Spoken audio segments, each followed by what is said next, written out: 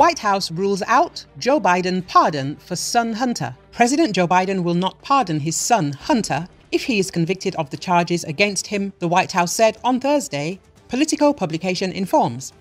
Hunter Biden has been charged with two misdemeanor tax offenses and a felony gun charge. When asked during her briefing whether there was any possibility that the president would eventually pardon his son, White House Press Secretary Karine Jean Pierre replied no and declined to comment further.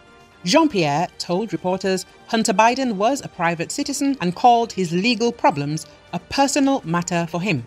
As we have said, the President and the First Lady, they love their son and they support him as he continues to rebuild his life. This case was handled independently, as all of you know, by the Justice Department under the leadership of a prosecutor appointed by the former president. The White House statement comes the day after a new challenge for Hunter Biden in his ongoing legal troubles. He has been the subject of a years long investigation into the failure to pay taxes in his business dealings. He was also charged last month with possession of a firearm by a person who is a known drug user over a gun he owned for 11 days in 2018. A charge that carries a maximum sentence of 10 years in prison.